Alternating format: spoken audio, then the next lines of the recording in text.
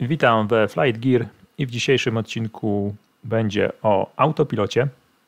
A to dlatego, że w odcinku szóstym, jak może widzieliście, przy próbie lądowania nie mogłem się przełączyć na tryb approach na autopilocie. Dlatego postanowiłem tutaj dokładnie rozkminić e, tego autopilota, jak on tutaj działa i dlaczego mi nie chciał się włączyć tryb approach. No i przy okazji stwierdziłem, że jak już rozkminiłem całego autopilota, to, to może i warto nagrać o tym odcinek. I tutaj oczywiście jesteśmy w Ceśnie. No i autopilot, tutaj mamy e, to urządzonko, damy zooma o, mm, to jest to urządzonko, e, jest to model CAP 140. W tej chwili autopilot jest wyłączony. Ja na szybko uruchomię silniki.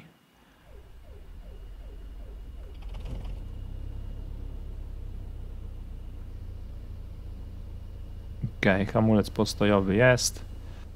Tak, e, przyzumujmy sobie tutaj jeszcze i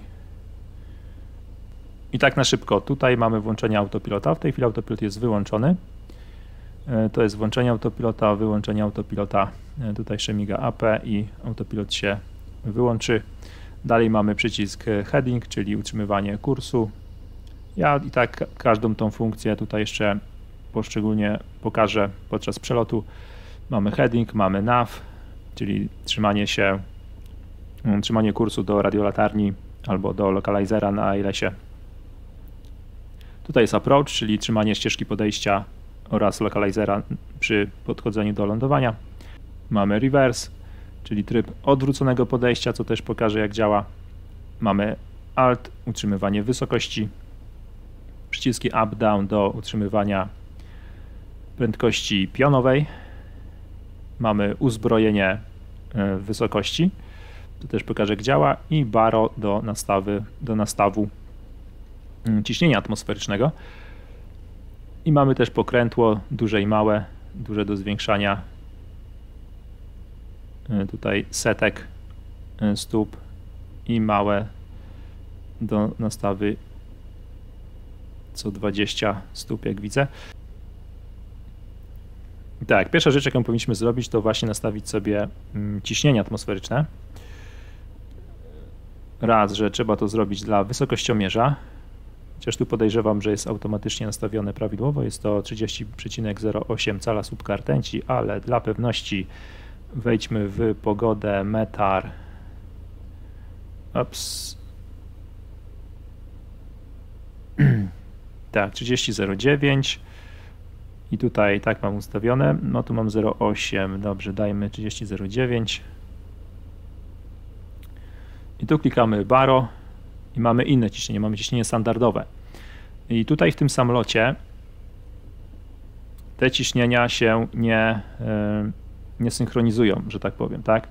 Tu musimy nastawić ciśnienie w, na wysokościomierzu i w autopilocie też musimy nastawić osobno ciśnienie. Mm, są modele samolotów, gdzie te ciśnienie w autopilocie jest synchronizowane automatycznie e, z ciśnieniem tutaj w wysokościomierzu i na przykład zmiana ciśnienia w wysokościomierzu powoduje też zmianę tutaj ciśnienia dla autopilota i vice versa, zmiana tutaj baro dla autopilota na przykład zmienia też e, nastaw e, na wysokościomierzu, no ale ten samolot nie jest wyposażony w tą automatyczną funkcję i trzeba jakby nastawić ciśnienie dwa razy. Więc zróbmy to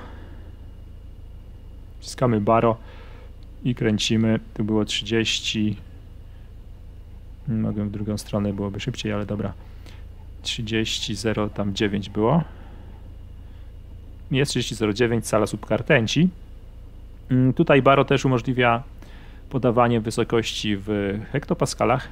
Należy przytrzymać przycisk baro. Teraz mamy w cala subkartęci i teraz mamy w hektopaskalach, tak? I możemy zmieniać sobie hektopaskalach, tylko trzeba to zrobić dosyć szybko, pokrętłem ruszać, bo to baro się wyświetla przez 3 sekundy i mamy 3 sekundy na reakcję, żeby tutaj zmienić sobie to ciśnienie.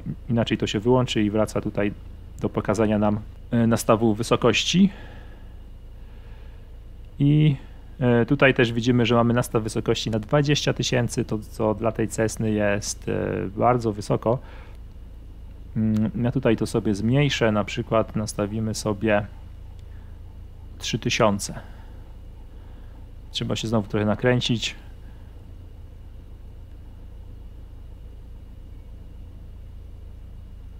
Tak, nastawiliśmy sobie 3000 stóp. No powiedzmy, że to jest wysokość, na której chcę wykonać przelot, ale w tej chwili autopilot ciągle jest wyłączony. I bardzo ważna sprawa, że właśnie przy startach i lądowaniu autopilot właśnie powinien być wyłączony. I teraz wystartuję, zobaczymy jak i włączę później po starcie autopilota, zobaczymy tutaj e, jak autopilot, jak autopilot działa, jakie ma funkcje. Dobry, światło lądowania sobie jeszcze włączę, hamulce zwolnione, klapy 0 i dobrze, możemy startować na szybko.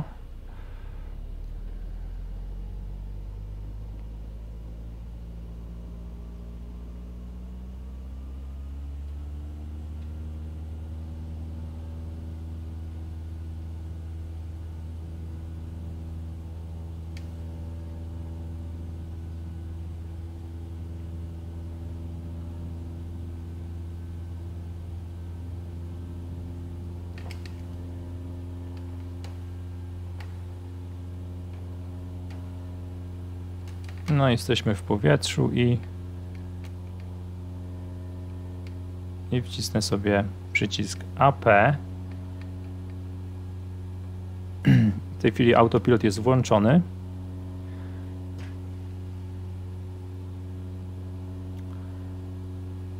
I tak, przyzumuję tu sobie, zobaczmy coś, co tutaj autopilot nam pokazuje. E, mamy podpisane ROL oraz VS. To są dwa podstawowe tryby, w jakich działa autopilot na samym początku.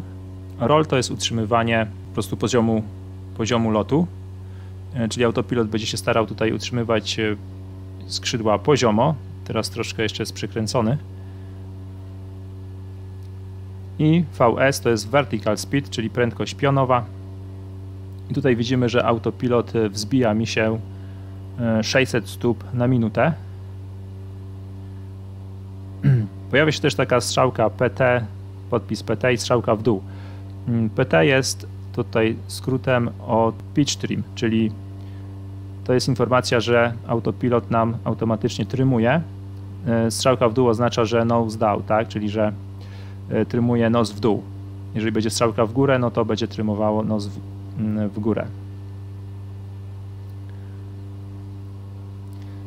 No i tutaj możemy e, zmienić jakby prędkość pionową. Teraz jest to około 500-600 stóp na minutę i możemy tymi klawiszami, klawiszami up lub down zmniejszać tą prędkość pionową. Ja teraz zmniejszyłem na 500, 400, 300, 200. Tak, czyli w tym trybie VS możemy jakby sterować sobie jak e, szybko chcemy się wzbijać albo opadać, albo dać na zero, czyli po prostu samolot y, przestanie się wzbijać czy opadać, będzie utrzymywał stałą wysokość. Tutaj troszkę zdejmę mm, zdejmę ciąg, żeby tutaj nam się tak samolot nie rozpędzał szybko. Tak, dam na przykład teraz y, wzbijanie 300 stóp w górę i autopilot będzie utrzymywał 300 y, stóp wzbijania się. No i widzimy, że się wzbijamy.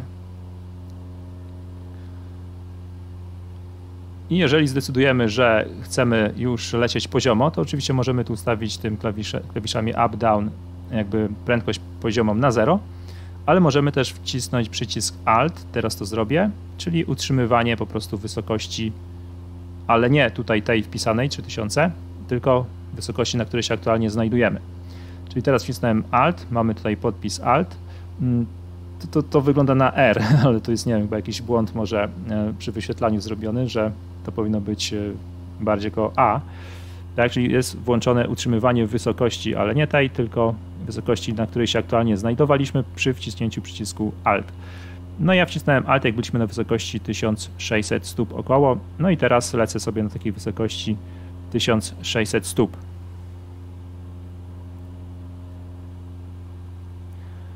I w trybie Alt też możemy używać klawiszów Up i Down, tylko wtedy działa to trochę inaczej. Jeżeli mamy włączone utrzymywanie wysokości, to wciśnięcie na przykład klawisza Up czy Down spowoduje, że mm, samolot na przykład przy up wzniesie się o 20 stóp do góry, down to zmniejszy wysokość też o 20 stóp, e, e, tyle że w dół. No i oczywiście to jest tak jednorazowa akcja, czyli na przykład daje up, widzimy, że samolot się lekko wzbija i nabiera wysokości i troszeczkę nabrał 20 stóp i z powrotem wraca na utrzymywanie e, tak poziomu bez wzbijania się. I tak samo down. I samolot teraz o 20 stóp zniża lot. Jak zniży o 20 stóp, to znowu wyprostowuje i leci prosto. Jak już jesteśmy przy wysokości, to zobaczmy sobie jeszcze, co oznacza tutaj ARM. ARM nastawiamy, jeżeli chcemy, czy też włączamy sobie ten przycisk, jeżeli chcemy, żeby z kolei właśnie samolot nam zaczął utrzymywać tutaj wprowadzoną wysokość, te 3000. E, ARM się też automatycznie załączy, jak teraz zacznę kręcić tym pokrętłem. Tak, on na przykład zmieniłem sobie na 3100 i widzimy, że mamy Alt ARM, czyli jest uzbrojony wysokościomierz. Utrzymywanie wysokości. Możemy to zrobić to samo, tak samo klikając tutaj ARM, czyli teraz rozbroiłem wysokość i ARM jest uzbrojone. ok. No ale teraz to nie wystarcza. Samolot dalej leci poziomo, tak? Mimo, że uzbroiłem, że chcę trzymać tak, żeby samolot mi się wzbił na 3000, to nic się nie dzieje. Dlatego, że wciąż jest włączone utrzymywanie wysokości Alt. Musimy to zmienić, czyli wyłączamy utrzymywanie wysokości. Teraz mamy podpis Alt On, czyli tryb Alt jest włączony, więc klikamy i jest Alt Off. Jeżeli jest Alt Off, no to mamy znowu Vertical Speed. No i w tej chwili Vertical Speed wynosi 0, więc y, dalej nic się nie dzieje. Więc teraz my jako piloci musimy wiedzieć, że y, do 3000 stóp to my musimy się wzbijać, tak? Bo jestem teraz na 1600 około. No to muszę dać up, czyli vertical speed y, do góry do wzbijania się. No i damy, że będziemy się wzbijać, dajmy 700 stóp na minutę i widzimy, że autopilot zaczyna utrzymywać mi taki poziom wzbijania się. Musimy też zwrócić uwagę na prędkość, dlatego że tutaj, jeżeli chodzi o autopilota, to on mm, w ogóle nie, tutaj nie reguluje prędkością. Musimy sami tutaj ciągiem sobie operować i na przykład teraz e, zwiększyć ciąg, zwiększyć ciąg na maksa, bo nasza prędkość zostanie tutaj wytracona mocno przy wzbijaniu się. No i zobaczmy, podchodzimy, jesteśmy na 2000 teraz i włącza się alert. To jest takie ostrzeżenie, że jesteśmy 1000 stóp przed zadaną wysokością, czyli na, 2000, na 2000 stóp włączył nam się alert, bo zostało nam 1000 stóp do naszej zadanej wysokości, która wynosi tutaj 3000. No i ten alert tu się teraz troszkę jeszcze będzie chwilę wyświetlał, tak? Mamy też taki sygnał też dźwiękowy co do tego alertu. No i zobaczmy, wzbijamy się tutaj dalej. Mm, warto też zwrócić uwagę na prędkość. Dlatego ja tu może sobie też wstawię trochę inaczej kamerę.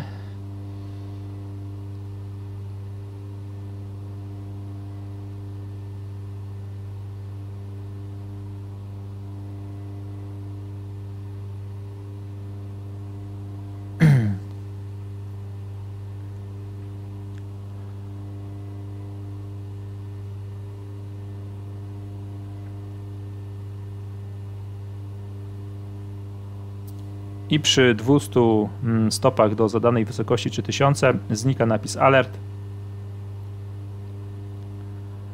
i zaraz będziemy mieli 3000 i zobaczmy co się stanie.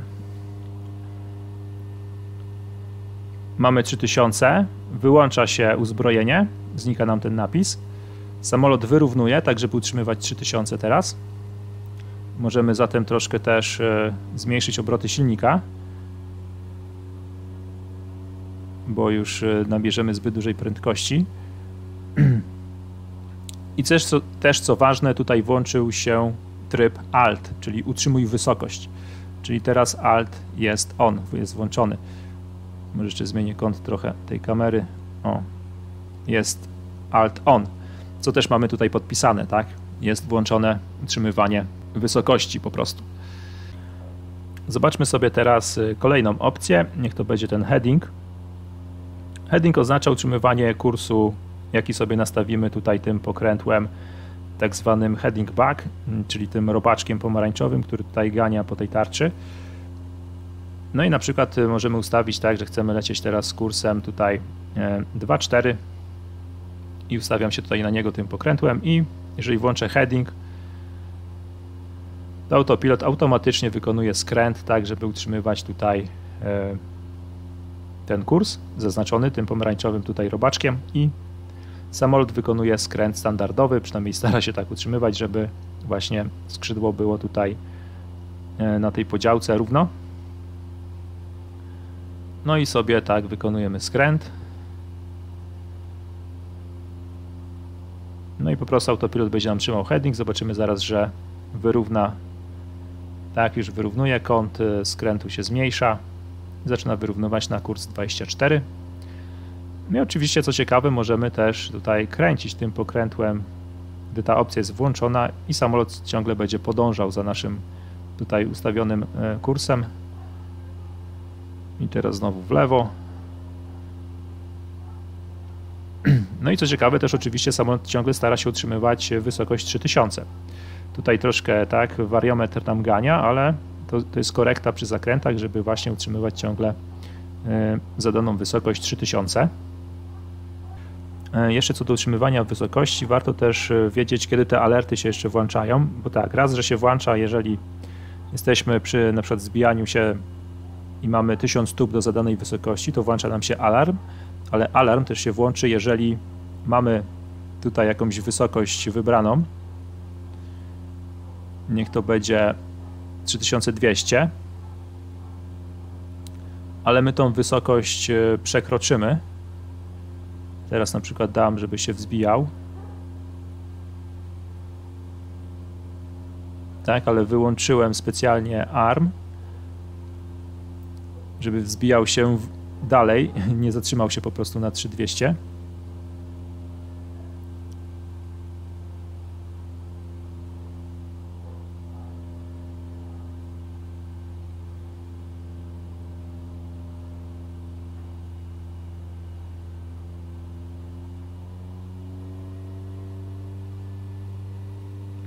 Tak i przekroczyłem już 3200, jestem na 3300 i zbliżam się do 3400.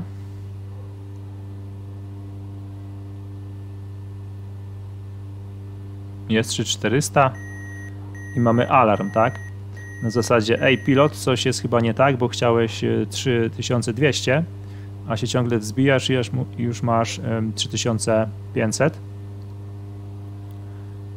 Oczywiście możemy dać teraz uzbrojenie i powiedzieć, e, tak, jesteśmy na VS, vertical speed i dajemy down, czyli tak, y, przelecieliśmy naszą zadaną wysokość, więc teraz musimy się zniżyć. No to się zniżmy. Oczywiście pamiętajmy o mocy silnika, żeby przy zniżaniu tą moc silnika zmniejszać.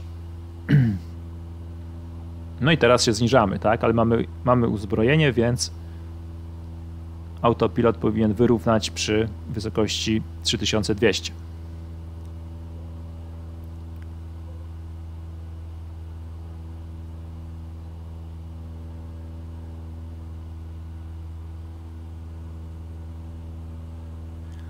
i zbliżamy się do 200 i mamy już tak, rozbroił się wysokościomierz i mamy utrzymywanie 3200. Kolejnym przyciskiem jest przycisk NAV. E, jeżeli chodzi o NAV, to musimy się dostroić na przykład do radiolatarni, na przykład e, musi to być WOR albo localizer, czyli ILS na lotnisku, z tym, że NAV będzie nam trzymał tylko kierunek na pas lotniska ale nie będzie utrzymywał ścieżki schodzenia, ale też możemy się do, do tego dostroić i, i powinien się jeszcze dostroić do utrzymywania e, ścieżki wedle trasy na, ustawionej na GPS-ie. Ale tutaj nie udało mi się zmusić tej Cessny jeszcze do utrzymywania nawa wedle GPS-a. Ale możemy się dostroić do jakiejś radiolatarni WOR. Wejdźmy sobie w mapę. O i teraz właśnie dokładnie jestem Jestem już e, tak częstotliwością nastawiony tutaj na tego wora Juliet Echo Delta i tak, jeżeli podświetlimy sobie dane, to widzimy, że on ma częstotliwość 115,60 i ja już jestem na radiu NAV 1 nastawiony na 115.60 jako częstotliwość aktywna. Ten WOR nam się podświetla też aktywny na niebiesko. No i też się dobrze składa, bo ja właśnie powiedzmy zbliżam się tutaj do radiala, którym chciałbym lecieć. Radial oczywiście nastawiamy sobie tutaj. Mm, teraz mam wybrany radial 177 i jesteśmy w kierunku do radiolatarni, więc dobrze, tak powiedzmy, że chcemy lecieć tutaj do tej radiolatarni i właśnie tym radialem dam tutaj niebieską kreską. Chociaż może ułatwimy to sobie, żeby tyle nie czekać się troszkę zbliżymy, powiedzmy ustawimy sobie radial 181 e, i takim radialem będziemy sobie lecieli. No to klikamy tutaj NAV. Widzimy teraz, że NAV się uzbroił, HDG jeszcze miga, także jeszcze tutaj HDG działało i teraz mamy NAV. I teraz autopilot będzie się kierował, już nie będzie się kierował tutaj tym wskaźnikiem e, na heading back, tylko do radiolatarni będzie tutaj podążał. Będzie po prostu śledził o tą pionową tutaj igłę na tym tutaj e, wskaźniku. I przyspieszmy sobie czas, żeby to e, nie musieć tyle czekać, żeby zobaczyć, że samolot powinien wykręcać mi w lewo i podążać tutaj na południe.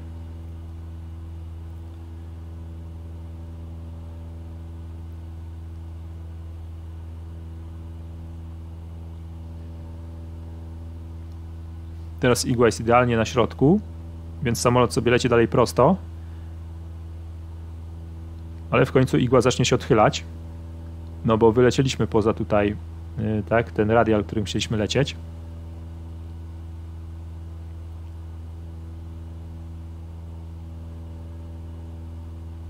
No, igła już ucieka w lewo i samolot zaczyna też skręcać w lewo. Oczywiście jest to spory odchył, y, jakby margines błędu, dlatego to się nie dzieje, że lecimy idealnie tutaj po tej linii. No tak działają po prostu radio latarnie, y, takie radiowe. Gdyby to był GPS, to byłoby to bardziej precyzyjne.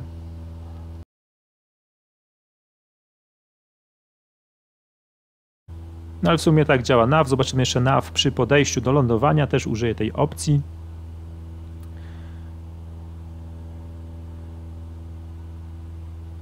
No teraz trochę to potrwa, zanim tutaj samolot się ustawi.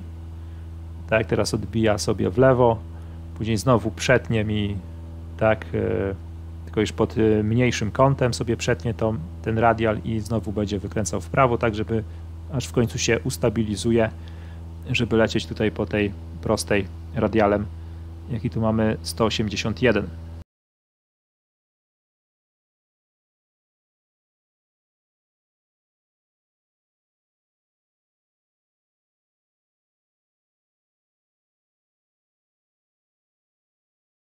No i w tej chwili znowu przecinam tutaj radial, którym powinienem lecieć, więc igła jest na środku.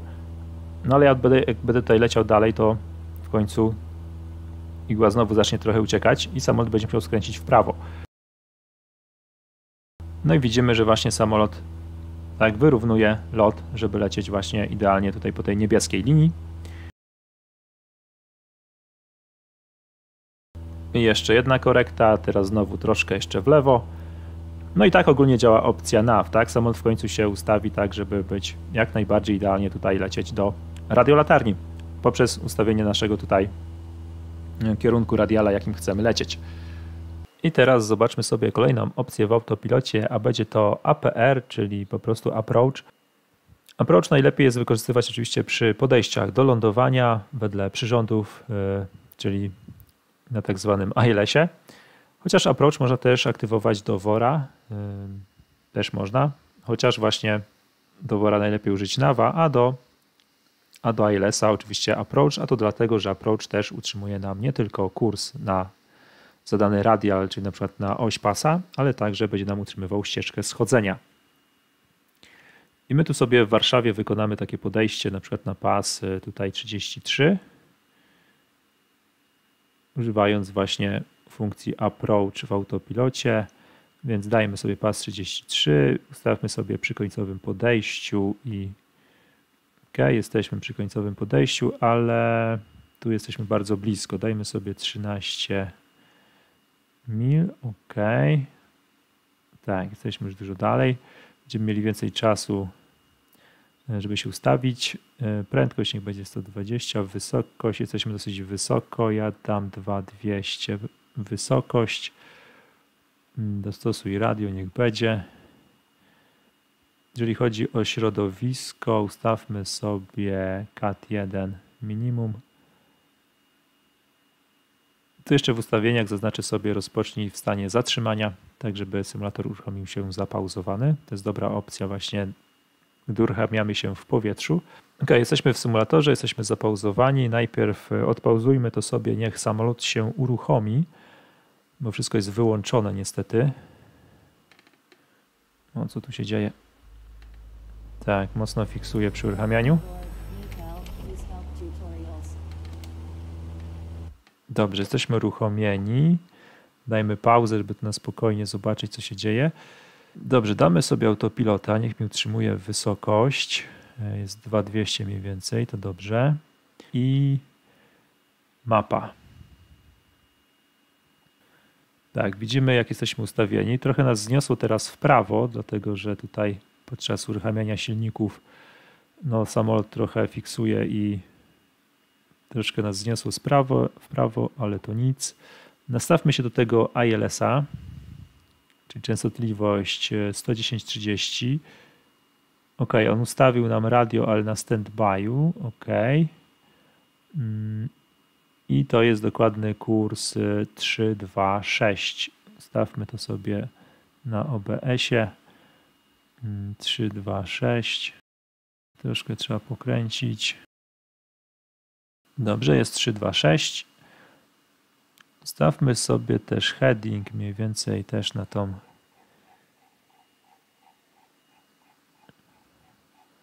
albo nawet nie, tutaj będziemy musieli wykręcić wykręcić troszkę w lewo, więc dajmy bardziej w lewo. Dobrze, odpauzujmy teraz, zobaczmy czy Tutaj wszystko jest dobrze. Jeszcze nie, nie aktywowałem częstotliwości. OK. OK, wyrównuję. Dobrze, dajmy sobie NAV może od razu. Niech mi tutaj... Ale jeszcze się nie dostroiło mi radio. Jeszcze raz. 110, 30. A, jednak mi nie dostroiło radia. 111, 30. Dobra, opcja z launchera nie działa. Ok, teraz mi mam wybrany ILS y, na pas 33, bardzo dobrze i no i włączyliśmy opcję NAV, czyli tutaj na razie samolot powinien utrzymywać y, kurs na lotnisko i rzeczywiście skręca mi w lewo bardzo dobrze. E, glide slope tutaj jest jeszcze wyłączony, więc e, approach nie musimy dawać, chociaż też już moglibyśmy od razu włączyć approach. Ale ja na przykład na razie włączyłem nawa i tak samo zrobiłem e, przy podejściu w Łodzi tam dwa odcinki temu, gdzie nie mogłem włączyć opcji approach. I sobie to sprawdzimy teraz. Ok, bardzo ładnie tutaj samolot wyrównuje. Ja już lecę poziomo, też nie wzbijam się, wysokość 2200, prędkość y, wygląda ok. Chociaż dosyć szybko lecę. Później będziemy trochę zwalniać, dobra. Tak, tak się prezentują y, minima pogodowe dla lądowania ALS kategoria pierwsza. Prawie, że ziemi nie widać. Troszkę coś tam widać. Ok, uruchomiło nam się tutaj, już e, zbliżyliśmy się do lotniska, mamy tutaj e, glide slope, więc e, moglibyśmy się aktywować na właśnie approach. No to kliknijmy teraz approach i to jest właśnie to, co było wcześniej, że nie działa ta opcja, tak? Można powiedzieć, klikam approach i nic się nie dzieje, dalej jest off. No a ja chcę już przechwytywać powoli to sobie uzbroić na ścieżkę schodzenia i nie mogę tego zrobić. A to dlatego właśnie, że jest włączona opcja NAV. ale tutaj klikając nav też się nie wyłącza. Trzeba właśnie przełączyć się po prostu na heading. Więc damy sobie heading i teraz damy sobie approach i widzimy, że approach jest uzbrojony. Więc uzbraja nam się jeszcze approach. O, i jest y, funkcja approach teraz załączona, więc samolot y, będzie teraz nawigował tą funkcją i widzimy, że też glide slope jest y, uzbrojony, czyli ścieżka zniżania, ale jeszcze jest uzbrojona, jeszcze nie jest aktywowana, tylko uzbrojona, bo tutaj autopilot musi poczekać, aż zbliżymy się tutaj do tej ścieżki zniżania i jesteśmy pod ścieżką i bardzo dobrze, bo żeby ją przechwycić, musimy ją przeciąć, a żeby ją przeciąć, to musimy być pod ścieżką. I w miarę zbliżania, tak, powinien tutaj ten glide slope też się aktywować. Na razie, na razie jest aktywny Alt, czyli utrzymywanie całej czas wysokości 2200. Bardzo dobrze. Muszę sobie włączyć jeszcze światła. O, i widzimy, że już glide slope się aktywował. Tak, zbliży, zbliżyliśmy się już do ścieżki zniżania i za chwilę autopilot powinien nam zniżać pułap lotu.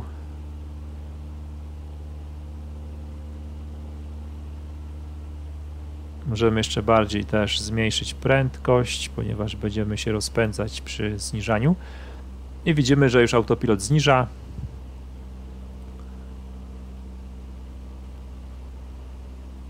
Jest to około 500 stóp na minutę zniżanie. Wysokość się zmniejsza.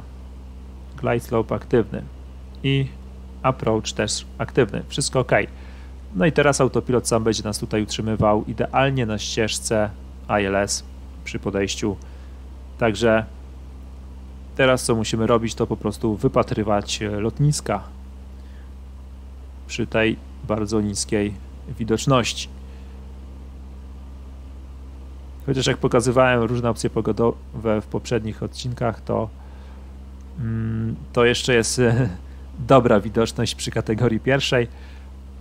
Mamy kategorię trzecią, gdzie już widoczność jest naprawdę no tam jest 100 metrów, tak, widoczność. Teraz mamy chyba 800 metrów, jak dobrze pamiętam.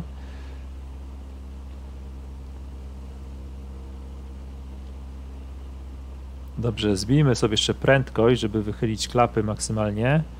Dajmy sobie prędkość może 100, yy, znaczy 1500 obrotów.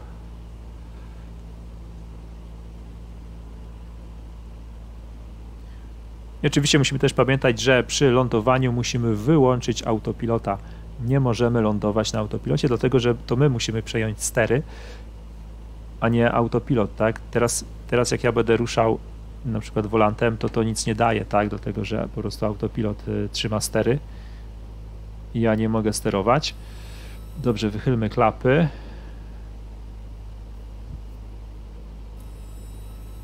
Klapy na maksa.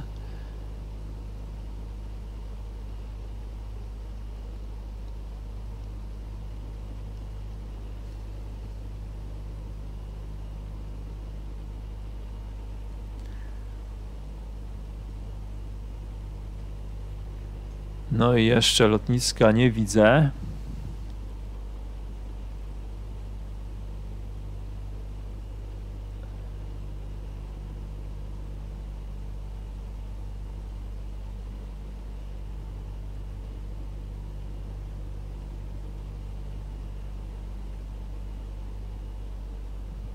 A, jesteśmy już dosyć blisko. O, jest, y, jest tutaj są światła podejścia.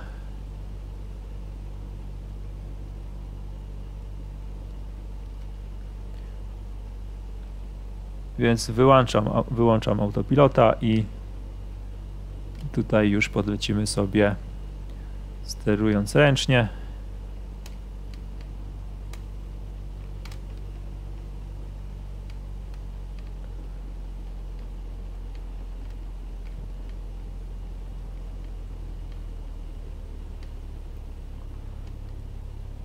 Okej. Okay.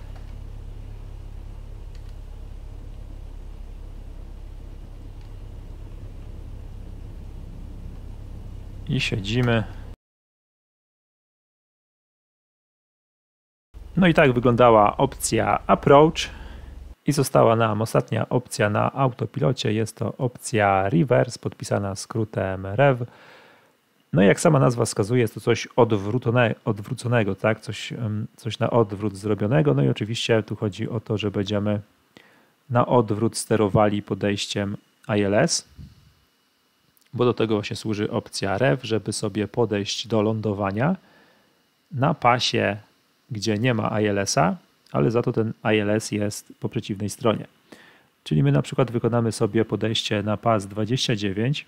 Załóżmy, że warunki pogodowe zmusiły nas do tego, że musimy lądować na 2,9. Tak, dlatego nie podchodzimy na przykład na 11, gdzie jest ILS i byłoby nam może łatwiej, ale wiatr nam to uniemożliwia, więc podchodzimy 2,9. Ale dzięki temu, że po drugiej stronie pasa mamy ILS-a, to możemy użyć opcji reverse.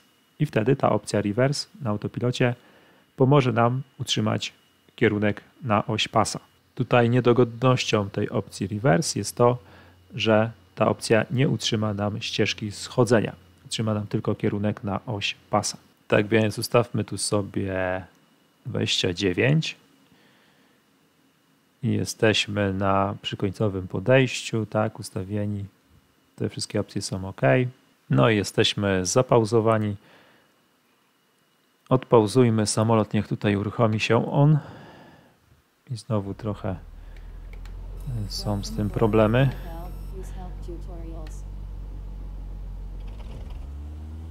Ok. Uruchomił się teraz. Zwiększmy tu trochę moc. Dobra, dajmy pauzę. Mm, wejdźmy sobie do mapy i zobaczmy, jak tu wygląda nasza sytuacja. No, bardzo mocno nas odbiło w lewą stronę przez uruchamianie silnika. Mm, I tak, dostrójmy sobie radio. Tak, tutaj ważne jest, że w opcji reverse musimy się dostroić tak, jakbyśmy normalnie chcieli lądować tutaj tym ILS-em na pas 11, a nie na pas 29. Więc jeżeli weźmiemy sobie tutaj dane, to zobaczmy sobie częstotliwość 109 i 10. Ustawmy to sobie. Mm, czy 109,90 jest. I też kierunek ustawiamy pasa, tak jakbyśmy właśnie lecieli na ten pas za ILS-em, czyli pas 11, a nie 29. I tutaj dokładny kierunek jest 108, więc tutaj na OBS-ie ustawiamy 108. Włączę autopilota, niech utrzymuje wysokość. OK, wygląda OK. Radio widzimy tutaj na niebiesko zaznaczyło nam ILS-a, więc jesteśmy radiem dostrojeni prawidłowo. Tu mamy 108, jest prawidłowo i tu widzimy, że nas troszkę odbiło w lewą stronę tego włączę sobie na razie na autopilocie heading, żebym tutaj sobie skręcił. Damy sobie heading. Ok, transparent, żeby też widział prędkość, jest dobrze. Ok, samolot zaczyna mi wykręcać w prawo, bardzo dobrze. Tu widzimy na wskaźniku, że igła wychyliła się w lewo, mimo że mój, moja ścieżka, którą powinienem lecieć, mój radial jest po prawej stronie. Także tutaj jest ta opcja właśnie odwrotności, że no, tu będziemy działali jakby na odwrót. Dobrze, mogę sobie już dać tutaj właśnie ref. Dajmy sobie to bliżej, tak, to jest przycisk ref. Włączamy to. Jest uzbrojony. I widzimy, że zaraz przetnę tutaj radial, jakim powinien lecieć, więc ref jest aktywowany. No i spójrzmy, tak, igła się wychyla w prawo, ucieka nam w prawo, a samolot skręca w lewo, a nie w prawo, tak? Przy normalnym ILS-ie by nam skręcał samolot w prawo. Ale że tu jest opcja odwrotności, to właśnie to wszystko działa na odwrót. Samolot skręca w lewo, gdy igła wychyla się w prawo. No i teraz samolot będzie nam tutaj trzymał, mm, starał się przynajmniej utrzymywać tutaj Y, prawidłowy kurs, tak żeby nas nakierować idealnie na pas, a my musimy zająć się tutaj wysokością, żeby odpowiednio tutaj właśnie też wylądować co do ścieżki schodzenia. Tu jeszcze ścieżka schodzenia jest nieaktywna, jako że jesteśmy jeszcze dosyć daleko od pasa. No i tak, ścieżka nam się aktywowała i widzimy, że znowu jest na odwrót, tak? Ja na pewno jestem pod, ścież pod ścieżką, bo jestem na wysokości 2,5 tysiąca mniej więcej. A kreskę tutaj tą poziomą mam na dole, co by sugerowało normalnie przy podejściu normalnym wedle ILS-a, że jestem nad ścieżką. Ale tu znowu to jest wszystko na odwrót, bo ja podchodzę z drugiej strony pasa niż jest ILS. Więc y, ta ścieżka też jest pokazywana na odwrót, ale nie sugerujemy się nią za bardzo, dlatego że jeżeli byśmy się ją całkowicie sugerowali, tak, to, to ścieżka podejścia by nas y, po prostu poprowadziła, żebyśmy tak znaleźli się na progu końcówki pasa, a nie tutaj początku pasa. E, dlatego, że właśnie to jest e, ścieżka zniżania, jakbyśmy podchodzili z drugiej strony pasa na pas i tutaj 11 ale możemy tutaj tak mniej więcej obrazowo się tym posłużyć, że jeżeli to nam zacznie tutaj się podnosić, mm, to mniej więcej możemy już zacząć zniżanie lot, mm, tak żeby, tak żeby właśnie tu wylądować na próg pasa 29. Tu widzimy właśnie, że zaczyna to się podnosić. Dam sobie zatem Alt, znaczy wyłączę Alt, żeby dać vertical speed i zacznę już trochę tutaj schodzić e, w dół. Na razie może tempem 400 stóp na minutę.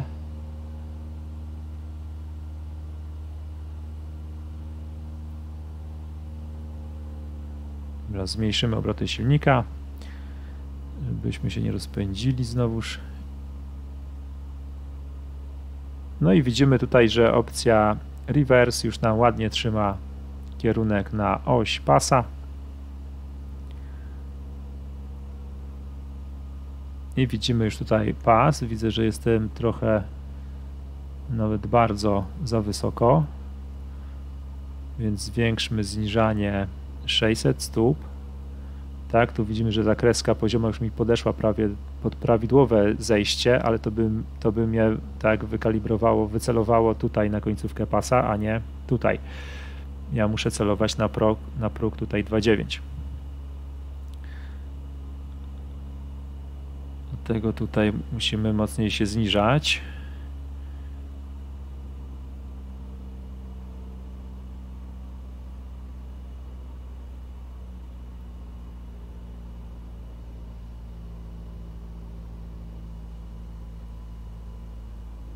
Jeszcze dajmy.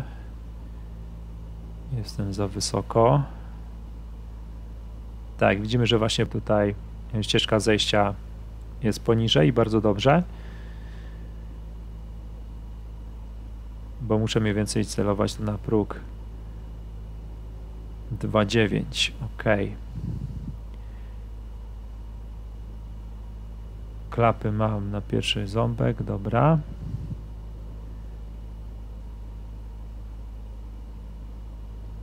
Dobrze, dajmy troszkę teraz w górę na 500 może żebyśmy znowu nie byli za nisko. Wychylę klapy na maksa teraz.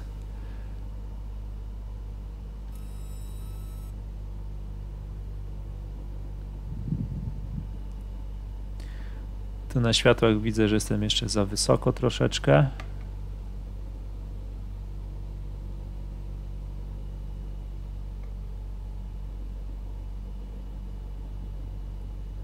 Ups, dajmy do góry 400 stóp na minutę.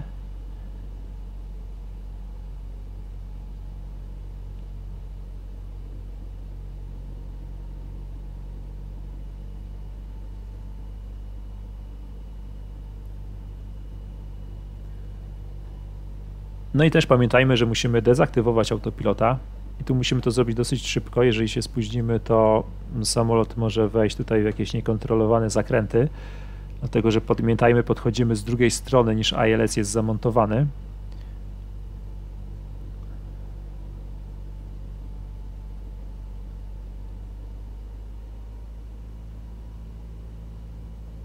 Dobrze, ja już wyłączę autopilota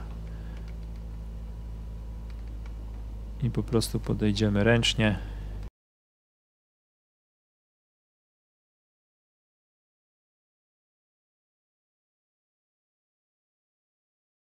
No i tak wyglądało podejście z opcją reverse. Także to tyle, jeżeli chodzi o tutaj autopilota. Model CAP 140. Dosyć popularny model, który występuje też w wielu samolotach General Aviation. Także go spotkacie w innych symulatorach, nie tylko oczywiście we Flight Gear jest w zasadzie tak, jest też w X-Plane, jest też w FSX-ie i zapewne też i w innych symulatorach, które tutaj dobrze symulują urządzenia nawigacyjne i autopilota. Także to tyle w tym odcinku. Dzięki za oglądanie i do następnego. Cześć Wam.